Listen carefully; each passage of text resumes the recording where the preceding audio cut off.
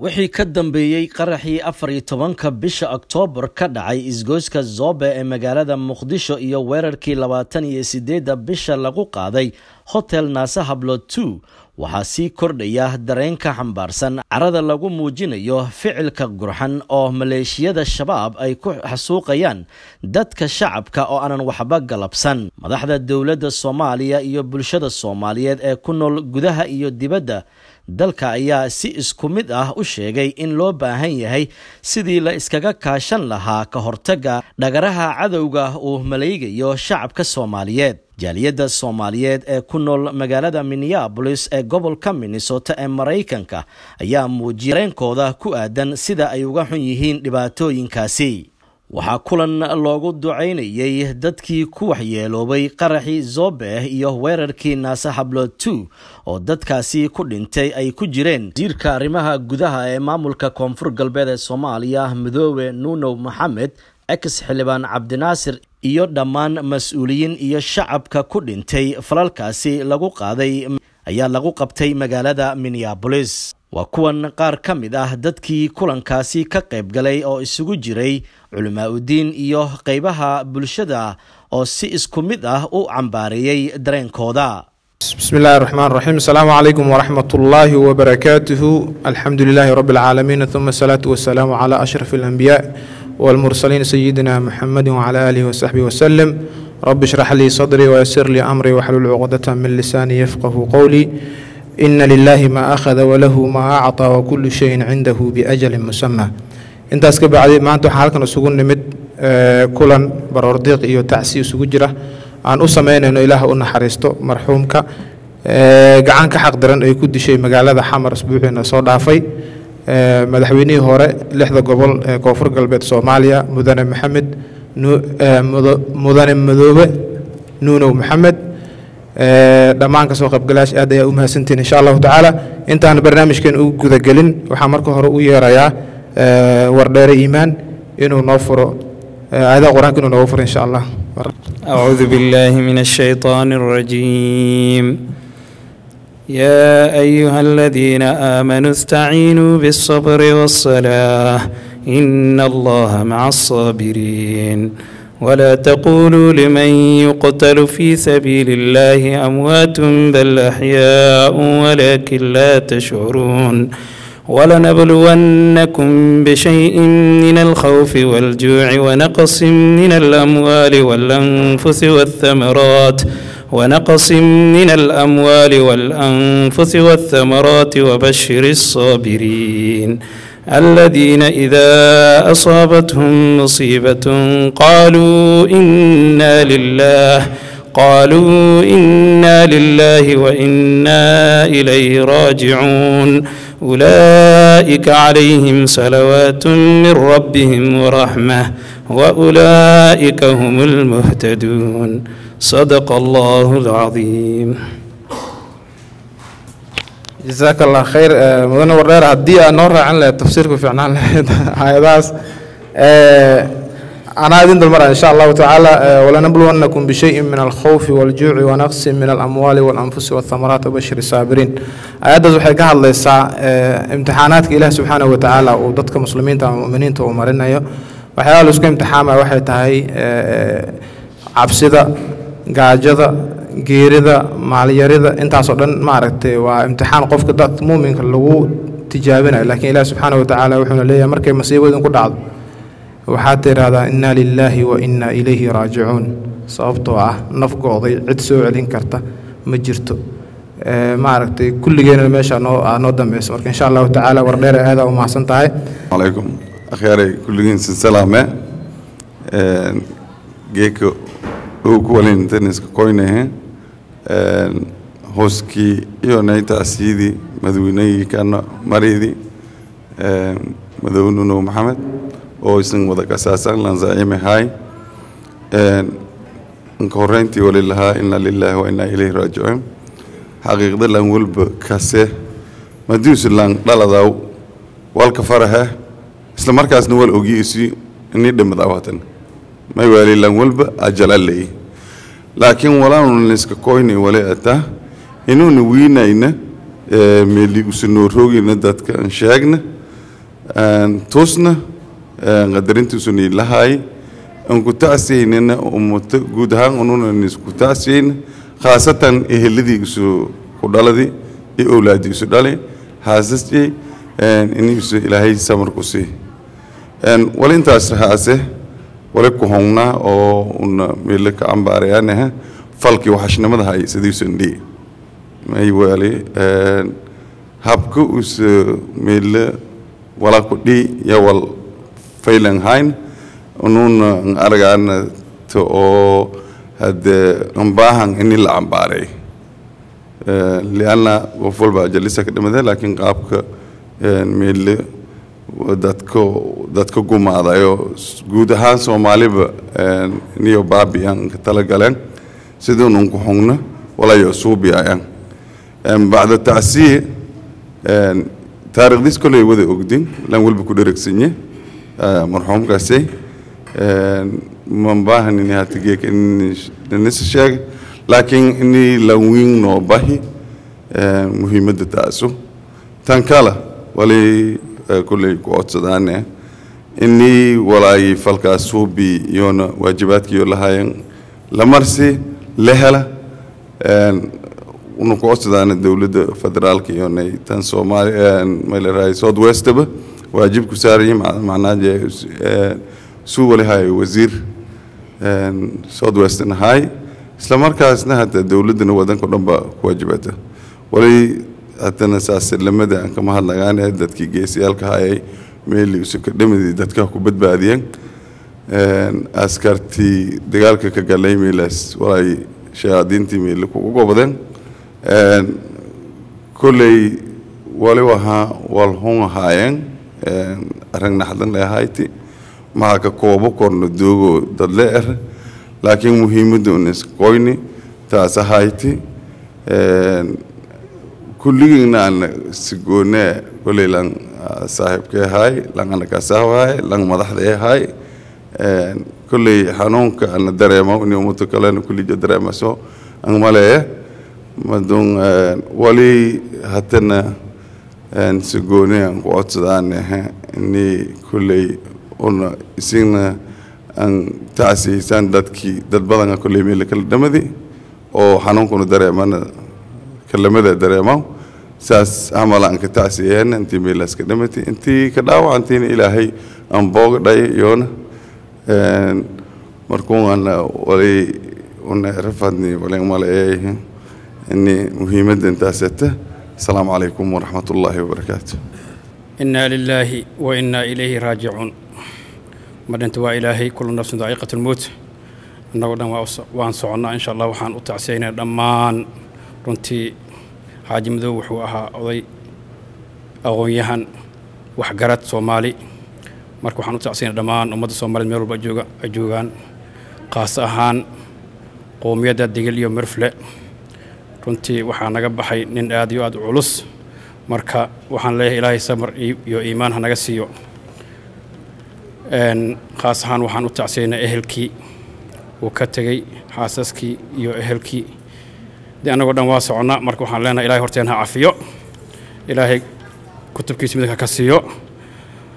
In sha allah de ilahay jannadeena ku waraabiyo in sha allah allahuma yakfir lahu warxamhu wacafuu canhu. Asalaamu calaykum waraxmat ullah cabdixafiid waa mahadsan tahay taariikhdiisaan hala yar qaybta hore ka sheegaya insha allahu tacaala mudane marxuum madoobe nuuno maxamed waxa uu dhashay sannadkii kun sagaal boqol afartan iyo sideedii wuxuuna ku dhashay magaalada diinsuur ee gobol gobolka baay. Sidoo kale wuxuu la soo shaqeeyey inta uu noolaa isagoo ka mid ahaa baarlamaankii soomaaliyeed militarigii dowladdii kacaanka ee madaxweynaha uu ka ahaa ilaah u naxariisto jaale maxamed siyaad bare sidoo kale wuxuu wuxuu ka soo shaqeeyey ururo xilligaa jiray isagoo maaragtay jagooyin kala duwan ka soo qabtay. Sanadka markuu ahaa kun sagaal boqol iyo lixdankii wuxuu dhammaystay waxbarashadiisa dugsiga hoose iyo dugsiga dhexe wuxuuna ku dhammaystay degmada diinsoor kana tirsan gobolka baay. Kun sagaal boqol iyo toddobaatankii waxa oo sidaas oo kale gobolka baay uu ku dhameeyey dugsiga sare kun sagaal boqol toddobiyo sagaashankii ilaa iyo kun sagaal boqol siddeetankii inta u dhexaysay wuxuu shahaado heer dibloomaha ka bartay uu ku bartay cilmiga siyaasadda ka qaatay machadka culuumada machadka culuumta siyaasadda xalane ee muqdisho. ilaa iyo siddeetan iyo afartii waxa uu machadka sidam ka qaatay dibloomo ahayd maamulka iyo maareynta wuxuu xubin ka ahaa ururkii leegada s y l wuxuuna mas'uul oga ahaa u joogay degmada diinsoor ee gobolka afartii ilaa wuxuu ahaa garaani ka tirsan wasaaradda arrimaha gudaha. Inta u dhexaysay ilaa waxa uu ahaa madaxa xafiiska wasaaradda arrimaha gudaha ee degmada diinsoor.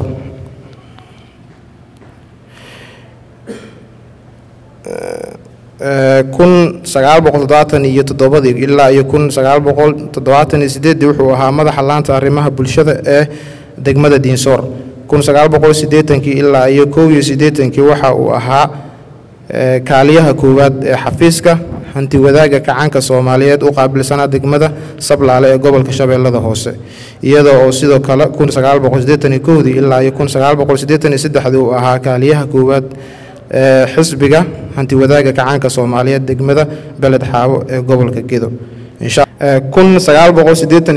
waxa uu noqday guddoomiyaha golaha shacbiga ama duqa diinsoor. Iyo toddobadii ilaa iyo sagaashankii waxa uu ahaa xogayaha xisbiga hanti wadaagga kacaanka soomaaliyeed iyo guddoomiyaha degmada cadalle ee gobolka shabeellada dhexe intii u dhexaysay kun sagaal boqol kow iyo sagaashankii ilaa iyo kun sagaal boqol sagaashan iyo labadii waxa uu ahaa guddoomiyaha guddiga samata bixinta abaarihii ka dhacay goboladaas waxa uu ka mid ahaa asaasayaashii jabhaddii arare dowladdii ugu horeysay ee kumeelgaarka la dhisay labada kun iyo kowdii ayuu maaragtay marxuumka ka noqday xildhibaan ilaa iyo labada kun iyo labiyo tobankii ayuuna ahaa xubin ka tirsan baarlamaanka soomaaliyeed. Labada kun labiyo tobankii ilaa iyo labada kun afariyo tobankii waxa uu ka mid ahaa xubnihii guddiga farsamada ee soo dhisay maamulkii koonfur galbeed soomaaliya lixda gobol isagoo markaasna noqday madaxweynihii ugu horreeyey ee meeshaas laga doorto oo shacabkan ay soo doortaan labada kun tobankii ilaa iyo laba kun toddobiyo waxa uu ahaa wasiirka wasiirkii xanaanada xoolaha ee dowlad goboleedka koonfur galbeed soomaaliya bishii julaay ee sanadkan waxaa loo magacaabay oo loo doortay wasiirkii arrimaha gudaha ee dowlad deegaanka koonfur galbeed soomaaliya. Intaas waxaa ku dhan taariikhdii marxuumka ilaah subxaana wa tacaala ha u naxariisto qabrigiisa ilaah u waasiciyo ehelkii qaraawadii uu ka tegay samir iimaan ilaaha ka siiyo annagana gadaashiisa ilaah nama fidna insha allahu tacaala. Inaa lilaahi wa inaa ilaahi raajicuun. Aan qur'aannama goridaw ariikan allahan raxmado qabrishay waansa allanku weela. Qofanoo bahi oo walaalkana e digil imirifle e wasiirka kaana lido gobol ahaaye yanoo bahi kuleelshay. Marka telefishinka aragna bowrana wal una taraana male ilaahay qabrishay waansanku weel umad nabiba alla angnaares anti la dhimateena alla angnaares ilaahay ma inku tugana jannadii wasiir allah in ilaahay inka bishaaray ee helshay intii isu dhali intii la dhalati sabar ani ilaahay sii ununa sabar ani ilaahay noo sii halyeeyaalkana dhammaadan ilaahay wiinoo waahidkay haano kaleed oo kale ema helaayo haano ogna naga allah niimbi digil imirifna nasiib yee weelay kii hambahoobo mayleere usubahe ilaahay yana weelay alxamdulilah alshukru lilah ilaahay wiinoo waahidkay meel nabaga irlaanka mari allahanka dhika ehelshay awlaadi isu dhali bilaanti isu kutabay sabarkeer allaha sii unu dhon anoo tabima yoolayma ku tabn marka ilaahay umad nabiiba naaris doogayma badan tiidiya lamaad halkuu duwasiinka darsade. Haddii isin walaanyogay oo qoomiyadda digil iyo mirafle leera una haanglay afartan qofood oo geeka tacsiidanko oo kumay kaalay ama hoolka dadan gaadaan digil iyo mirafle inti aan ma kaalan hoolkun amadadan qaadanay lahay. Nasiibkan una weelay ilaahay wiinoo waahidkaytaan ku roon allahana ruujiye assalaamu calaykum waraxmatullaahi wabarakaatu inaa lilaahi wa innaa ilaahi raajicuun marka hore waxaan u tacsiyeynaynaa alla yaa raxma mas'uulka ama aqoon-yahanka dhintay allah u naxariista madoobe nunow moxamed oo ahaa nin halyey ah taariikhna lahaa. Waan u tacsiyeynaynaa mar kalean ku celinayaa inna lilaahi wa innaa ilaahi raajicuun waxaan marka hore u tacsiyeynayaa haddana famalkiisa qaraabada iyo qoyska uu ka geeriyooday. Haddana waxaan ku xigtoon u tacsiye ka gaarsiinayaa dhammaan gobolka uu ka soo jeeday iyo dadku maaragta u soo shaqeeyey. Guud ahaan haddana waxaan u tacsiyeynayaa oo uu matalayay soomaali dhammaan dalka soomaaliya. Meel walba ay joogaanba soomaalida. Halyey baa naga dhintay xaqiiqdii. Dhibaatadana haysatana maanta waa taas kale. Dadkeenni baa la laynayaa madaxeenni baa la dilayaa nolol laguma ogolo cadow baa nagu dhex jira cadowgaasna waa annaga dhexdeenna. Marka waa ka xumahay. Waxaan mar kale iyo mar saddexaadba aan tacsida aan maanta annagoo ah jaaliyadda gobolkan minnesota magaalada tan minneapolis soomaalida. Aan u wada tacsiyeynayna dhammaan madoobe maxamed nunow. Madoobe nunow maxamed waxaan leenahay alla yaa raxma kolaba gacankaa xaq daran baa dishay marka qabriga iyo maaragta qabriga qabriga jannada allah ka waraabiyo haddii aan waxyar la hadlo shacabka soomaaliyeed iyo ummadda soomaaliyeedba khaasatan anigoo la hadlaya reer soomaali waxaan leeyahay walaalayaal tani nama qabata tani waa dhibaato waa cuqubo waa habaar aynu iska qabanno. Dadka xaasidka ah dadka dadka ilmaheenna yaryar ee maskaxda macnaha brainwash ku samaynaya aan iska qabanno. Haddii aan iska qaban wayno dadkaasaa noo gelaya waxaa dhici karta tusaale ilmo yaryaroon waxba kala ogeyn ama cunug reer baadiye oo miyi iska joogay baa la dhahaya jannaad gelaysaaye miino isku shubo isqarxi oo dadka laa. Waxa la laaynayana waa madaxdeenni waa indhaheenni waa aqoon-yahanadeenni waa mas'uuliyiinteenni marka dhibaatadana haysataa waxaan kaloo u tacsiyeynayaa dhammaan inta kaloo meesha ku dhimatay labaatan iyo toddoba qof aa ku dhimatay qaraxa asaga ahaa taarikh labaatan iyo toddobadii bishii aan soo dhaafnay haddeertan. Iyo waxaan kaloo iyadana aan fursad aan u helay inaan u tacsiyeeyo mar kale iyadana qaraxii ka horreeyey oo afar iyo tobankii oktoobar dhacay oo saddex boqol lixdan iyo dhowr qof oo soomaaliya iyadana lagu laayay. Marka aynu isdaba qabanno insha allah soomaali waxaan leeyahay fadhiga ka kaca isdaba qabta iskana qabta. Waa taqaanaa ninka xun ee qurunka ah ee dhibaatada nagu sameeya waa fara laakiinse waxaa loo soo marayaa dadkeenni dhallinyaradeenni iyo dad maati waxba aanan garanaynin baa loo isticmaalayaa marka waa ka xumahay marka koowaad iyo mar labaad iyo mar saddexaad anigoo ku hadlaya magaca ama afka dhallinyarada soomaaliyeed ee gobolkan tan minnesota ee magaalada tan minneapolis waxaan leeyahay inna lilaahi wa inna ilaahi raajicuun. Qabriga maaragta alla u waasiciyo in allah السلام عليكم السلام عليكم ورحمة الله وبركاته إنا لله وإنا إليه راجعون إلى أن نحرس أنت دمتي آه قبر جينا واسع عن كوالا أذر مدونون ومحمد جنة الفردوسي إلهيك ورابي كل قلنكو حق درن يدلي ما راي قرحي أنك دنبي أو هوتيل كنا صاحب لوتو لك دلي مركي إلى أن نحرسه kolley hadal badan meero wali ero fadiyo bala eri marka insha allah kolley hadal badannaha uma buyow yala eri taasiyaasan ka muhiimsan marka ilaahay naxris adeer insha allah qaraaba iyo familkii isku tabina samir iyo iimaan ilaahay ku sii unu dhoon wada geeriyoodii kolley dhammaan meelaha samir iyo iimaan ilaahay noo wada sii insha allah. Asalaamu calaykum waraxmatullahi wabarakaatu waxaanu halkan u wada nimi in marxuumiinta iyo marxuumka naga wada tegey aanu u tacsiyeyno ilaahay qabrigiisa inuu waasiciyo ilaahay jannadii fardowsa ilaahay inuu ka waraabiyo run ahaan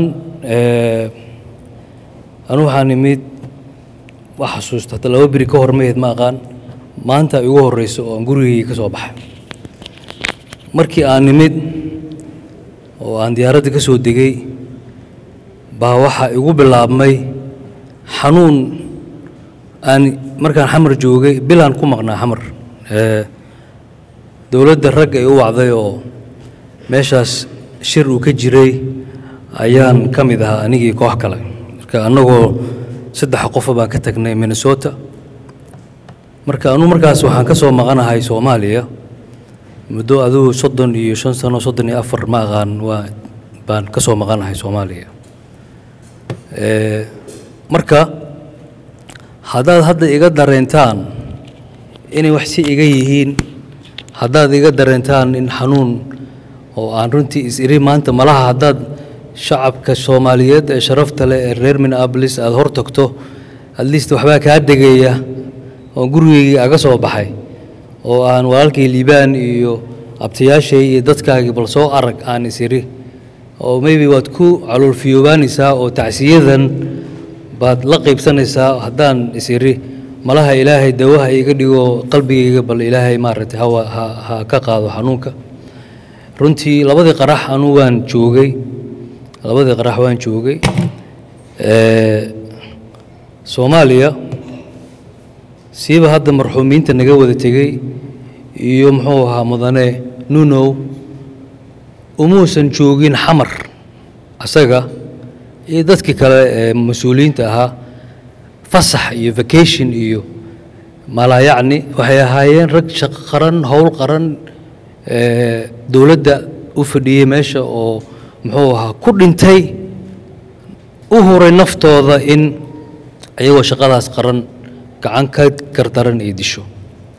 Marka qofka saasoo kale ah waa in la qiimeeyaa la xusaa loo duceeyaa aanana weligood la iloobin dadka shaqada qaran howsha qaran ayagoo haya naftoodii ku waayey. Loo duceeyaa reerkoodii caruurahoodii faamilkoodana laga warqabaa.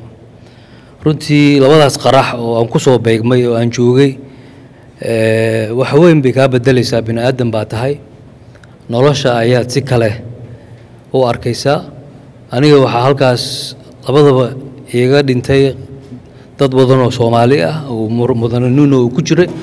Laakiin qaas ahaan siddeed qof oo muxuu ahaa aanu isku dhownahay abtigay baa ku dhintay oo aan u socday. Xaaskiisa oo intii hargeysa aga timid hoteelka safaari la deganayd baa ku dhimatay. Gabar aniga aan qaraabo nahay oo habeenkii ugu habeenkii aan imir dadkii soo dhoweeyey ka mid ahaa oo mar dambe meydkeedii inta la waayey marka meydk markii la waayo alsaan waxyaabaha ku bedeli kara bini aadan nahay aadamku aad baan daciif u nahay moogta waxyaabaha ku bedeli kara cajiiba man rabo inaan hadda idiin waxaas idiin galo. Waxaa ka mid ah gabadhaas waxaa la yidhi marka hore abtigey iyo xaaskiisa iyo waa qaraxii hore zooba ka dhacay moogta waa la sheegay gabadha waxaa la yidhi qorsheyntii u shaqayn jirtay gabadhu. Waxaa la yidhi waa nooshahayo waa dhaawac oo isbitaaladeed marka isbitaalladu waa iska dhinacaanay soo jiraan oo qofkii xamartiga dhinacaan soobe iyo gadaal iyo banaadir isbitaal banaadir isbitaal digfer madiina dhinacaanay soo jiraan. Moogta isbitaaladaan ku wareegeynaa marka habeenkii annagoo saddex qofa marka isbitaalka aad ku wareegeysid waxaad arkaysaa halsaan de marooyin baa dadku meydkii ku duuduuban moogta qaar si gabadhi loo caddeeyo loo sheego. Marka waa inaad meydadkii aad saf ka martaa moogta marka haddii qof bini aadana ma garanayo moogta marka aduu dadkana badanaa kolley waa dad muxuu ahaa ilaahay jannada ha geeye gacan gardan ay dishay. Dadku si xun bay u dhinteen wallaahi bilaahi badankood.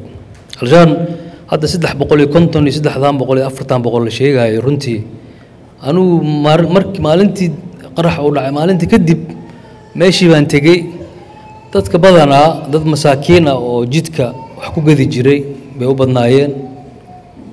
Gaas hooyo gaas gadaysa gaaskii hadda gaas hadda waa taqaaniin gaas gadaysa oo jidka fadhida iyo yaanyo iyo caseeyayaasha iyo dadkaas tiradan kuma jirin cid tira koobi jirtayna ma jirin mugta.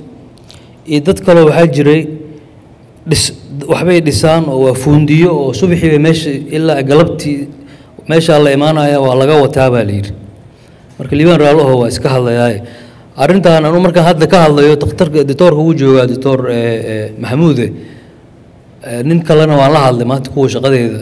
Damoor aad wixii ka hadashid oo dadka dhex oo aad wixii aad sii daysid maybe qalbigaaga ku caafimaadaya baa liigu moogta marka caawa haddaan iska hadla raalli ahaadaya ee cafiyaya tacsidan inaad idinla qaybsadaan rabaa. Ilaahay ha u naxariisto. Marka walaalayaalow dadka naga wada dhintay waa dad ahlu janno ah. Ilaah baa og laakiin anagu waxaan qirayaa inay ahlu janno yihiin gacan kala daran baa disho kow. Marka annagu maxaa nagu waajiba? Haddaan nahay dad muslina haddaan nahay dad soomaali maxaa nagu waajiba? Waxaa nagu waajib ah kow inaan u duceyno caawo ducadaasi baan halkan u joognaa waxaa kaloo nagu waajiba hawshii ay gacanta ku hayeen oo ay ku dhaarteen oo ayna ku dhinteen. Maadaama qurbo joog aan nahay ya in least qof walba wixii uu qaban karo oo xagga wanaagga ah xumaanta ma aha. Xumaan baa dadku badan ah dowladdu maxay saa u qaban weyday iyo maxaa halkan waxba kama warqabno. Qurbo joog haddaan nahay wallaahi inaan waxba ka ogeyn dalki. Ay weydiiya aniga annaga soo aragnay. Meeshii gaajaa ka jirta dalka dadka waxa dilay waa gaajo. Nin askari oo gaajoonayo wallahi inaysan waxba kaa celin karin. Ya soo tuur baa lagu leeyay adeer soo tuur. Marka dowladduna waa dadaalaysaa muxuu ahaa ninka xilka markuu qaado oo uu madaxweyne noqdo ama prime minister ama muxuu ahaa madaxweyne maamul goboleed uu noqdo iyo nin bannaanka iska taagan oo shicib ah oo annagoo kale ah. Waa kaaf iyo kala dheeri waxba mas'uuliyadda ayaga ahayaan maba ka warqabi karnaba annaga. Wax waa la mucaaradaa laakiin soomaalidu sida wax u mucaaradayno waa wax qaldan. Marka wax mucaaradaysid waa inaad adna wax saxan keentaa oo wixii ninkan aad ku haysatay ka duwan keentaa waxba iska mucaaradnaa moogta calaa kulli xaal soomaaliya dadka jooga siiba xamar dadka jooga oo anu aan hadda ka imid. Waxaa laysku haysta qabiil maaha waxaa laysku haysto qoloqolo maaha waxaa meesha yaalla waxay tahay amniga oo xun iyo dadka oo runtii dhaqaalo xuma ay jirto. Ya cunug yar baa kugu dhagaaya halkan adeer ku dhahaya moogta xaggee ka aadaysaa marka tay ugu darnayd waxay ahayd aqaan facebook. Facebook aan soo geliyey. Oday waxaa jira luga hala oo wiiljeer ku socda. Laba cunug uu dhalay oo ugu waaweynaa sheekh sheekh maxamuud xuseen. Baa labadii cunug wuxuu leeyahay markaan u tegey way isku babedeli jireen. Meelbu meesha meesha qaraxa ka dhacayba dukaan yar baa lagu leeyahay jidka agtiis. Way isku babedeli jireen uu dhahay shiftiga. Qofaa gedi jiray arday bay ahaayeen istakfirullah odagaa ku sii simi jiray. Marka iskoolka waxaa laga imaanaa duhurkii moogta soomaaliya xamar kowdii meelahaas. Odaygay odaygay soo bedeleen oo odaygii gurigiisuu imaaday labadiisa cunug gabadhana caanay ku gadaa meesha bannaanka ugu weyn. Yarka kalena wuxuu meeshuu asna wax ku gadaa wiilkii. Waa kuwa ka dhiman doona ugu waaweyn oo quutalyoonka u saara reerka marka aduu odagaas hadduu kuu sheekeeyo murar dilaac maamo kale way agoontay carruurta aabbihii baa ka dhintay sideed qof cunug buu aga dhintay. Waan wacay. Waxaan deganahay bay tiri ceelasha meel la dhaho. Waxaan habrare anuu ceelasha ma aqaani waxaan waa iga dambeeyeene bal xaggee ceelasha loo soo maraa. Marka dadkii markaan weydiiyey waxaa la yidhi injineer aduu ceel iyo waxbaa isku tegin oo dad meesha dad baa degane dad kale waa meel khatar eh.